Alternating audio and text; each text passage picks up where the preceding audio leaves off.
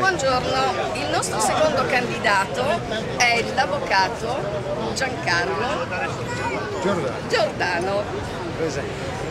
presente, benissimo, è uno dei nostri candidati più simpatici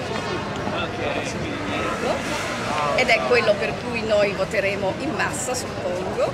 Troppo gentile. No, a parte che Gian è un amico. Ehm, Giancarlo, ci vuoi dire qual è la tua motivazione a questa candidatura e quali saranno i tuoi propositi per migliorare questa città?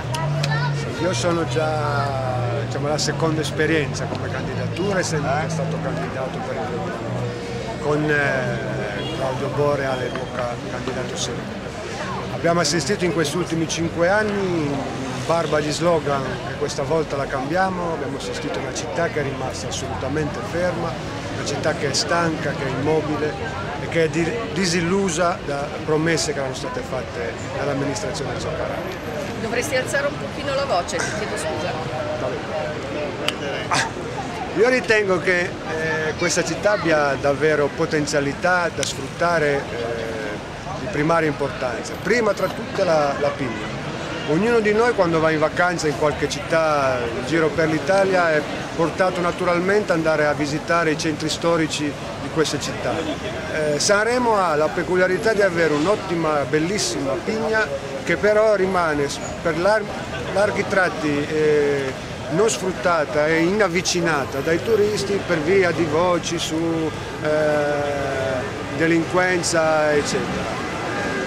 Bisogna intervenire in maniera eh, radicale in un'opera di recupero della- della- del centro storico che al contempo, lasciando perdere le iniziative da sceriffi, al contempo comporterà inevitabilmente anche una maggior vivibilità del centro storico che verrà riconsegnato quindi eh, alla città e ai turisti.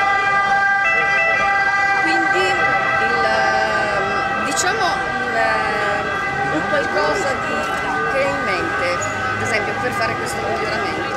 Ma io penso che non so, servano la pulizia, tanto no, esatto, non servono interventi evitare mm, che venga ghettizzata. E infatti, ma io ritengo che non, non siano necessari interventi faraonici. Serve un'opera di semplice restyling, di pulizia, di eh, sistemazione di alcune piazze che sono lasciate al degrado.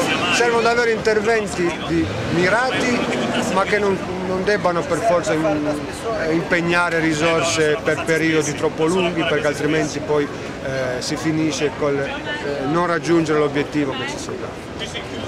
Ti ringrazio, Grazie. sei stato molto gentile. Grazie, grazie, arrivederci. Aviones, me gustas tú, me gusta viajar.